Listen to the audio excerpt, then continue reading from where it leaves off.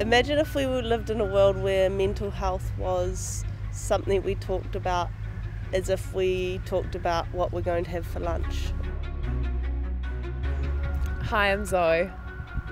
Hi, I'm Eve, and today we're going to sit down and have a an open conversation. Although it may be difficult, we think it's really important. So, I'm 23 years old and I started rowing back in high school, so when I was 14. Being selected for the New Zealand team and winning gold in lightweight singles for my biggest achievement. I started back when I was, ooh, must have been 16 um, at school. I would say the 215 world champs, yeah, and the double with Zoe was pretty special. Yeah, Yeah. it was a lot of fun. Yeah, that was really cool. And I guess getting into it, what's been your experience with mental health and I guess how have you, how's that journey been for you? Yeah, so after post Olympics 216, I battled my own struggles for a bit there, perhaps over a period of a year.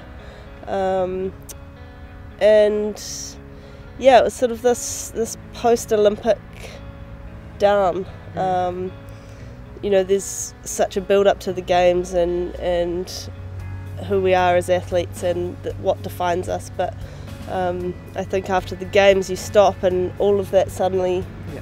disappears, and then it's sort of these questions like, who am I? What am I doing? Um, and yeah, so there's a bit of transitioning period that I really struggled with. I guess my experience has been, um, I feel like I've always been like quite a type A personality, like go, go, go. I've always had my goals set out and my plan. And then last year I was injured pretty badly. And I think put it, that put me on the bike and off the water for a long time. And it kind of, like, I slowly, yeah, fell into this like struggle and this like just feeling of not really knowing what I was doing anymore. When rowing was taken away from what I was doing, I was just like, what else is there to me that's not the rower? And I think, um, yeah, it was really big for me, kind of, yeah, slowing down and having that feeling and trying to work through that and find, yeah, like who was Zoe outside of just the rower and the rower that was like in the boat and doing well.